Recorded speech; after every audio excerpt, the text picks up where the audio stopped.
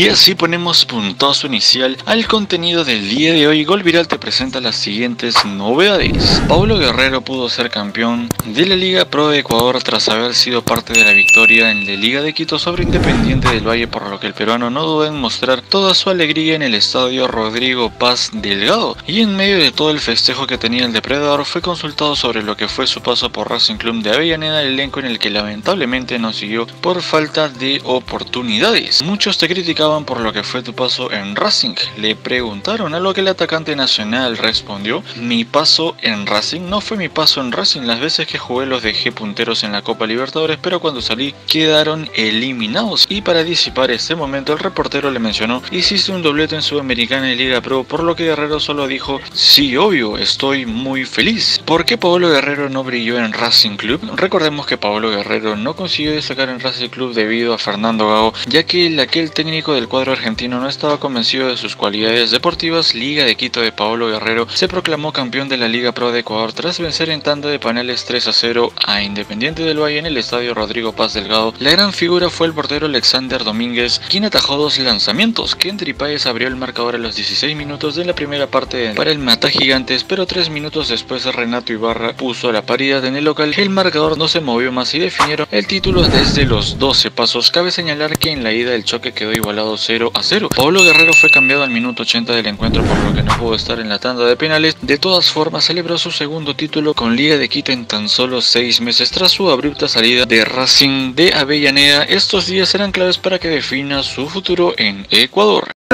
¿Cómo te sientes? Eh, acá muchos te, te, criticaban por, por tu edad, por tu paso en Racing. Hoy, ¿qué le dices acá paso en Racing no fue mi paso en Racing. Y las veces que jugué dejé a Racing puntero en la Libertadores. Cuando salí, Racing eliminado. Doblete, Pablo. Sudamericana y Liga Pro. Sí, así es. ¿Te sientes súper bien ahora con Sí, esta súper bien. oportunidad que se te dio? Sí, feliz. Luis Advíncula demostraba estar a la altura de Boca Juniors, el gigante del fútbol mundial que confió en el lateral y que como respuestas ha recibido el mejor performance del peruano. De hecho, el jugador es de los más queridos por la hinchada Xeneize y fue ofrecido al Corinthians, uno de los clubes más poderosos de Brasil, por la hinchada Xeneize y muy bien acogido por Juan Román Riquelme, uno de los ídolos máximos en la institución. Sin embargo, Luchito acaba de despertar el interés del Corinthians. El periodista Marco Bello de Globo contó que el lateral Luis Advíncula fue ofrecido al Corinthians, uno de los clubes más poderosos de Brasil. De hecho, hace algunas semanas se difundió la información que Santos también llegó a pretender al peruano. De momento, Luis Advíncula pertenece a Boca Juniors y está a gusto en la institución Xeneize, pero el nivel económico que maneja Corinthians es superior a lo que puede ofrecer el elenco argentino y eso podría influir en una próxima negociación. Riquelme habló con Advíncula sobre su renovación. El periodista César Luis Merlo difundió en redes sociales y Juan Román Riquelme le explicó a Luis Advíncula que su renovación de contrato estaba sujeta si el histórico 10 gana las elecciones contra Mauricio Macri. Recordemos que las elecciones en Boca Juniors se darán este domingo 17 de, de diciembre. Luis Advíncula fue el goleador de Boca Juniors en la Copa Libertadores. La temporada del defensor peruano sorprendió a todo el mundo luego de que se posicionara como el goleador de Boca Juniors en la edición 2023 de la Copa Libertadores. Advíncula llegó a convertir cuatro goles durante todo el torneo deportivo Pereira, Colo Colo Nacional de Montevideo y Fluminense. Guerrero, sí, gracias por esperarnos, Pablo. Estamos en vivo para Star Plus todo el continente por ESPN. Eh, Felicitaciones. Otro campeonato. Llegó a mitad de año y consiguió la Sudamericana y ahora también Liga Pro. ¿Qué le decía a día ahora que lo abrazaba? Nada, el trabajo en equipo, eh, trabajo duro a lo largo de, esto, de todo el tiempo que estoy aquí. Eh, muy feliz por, por- por todo el trabajo logrado, por todo el trabajo hecho. Cerramos un, año con broche de oro, por decirlo así. Eh, muy feliz por obtener el título de aquí, de Ecuador. Así que nada, eh, le deseamos esto a la familia, siempre está, y, a, todo, a todo Liga, ¿no? a todo el entorno Liga que es, que es lindo. ¿no? No, no había vivido esto, eh, el estadio tiene que estar siempre así porque Liga es el más grande del Ecuador y lo vuelvo a decir una vez más, así le duela a quien le duela. ¿El campeón quién es? Así le duela a quien le duela, porque creo que cuando dije, cuando llegué dije que era El mayor equipo, yo recuerdo. el más grande y le dolió a muchos. Y ahora lo digo nuevamente, el más grande, Liga.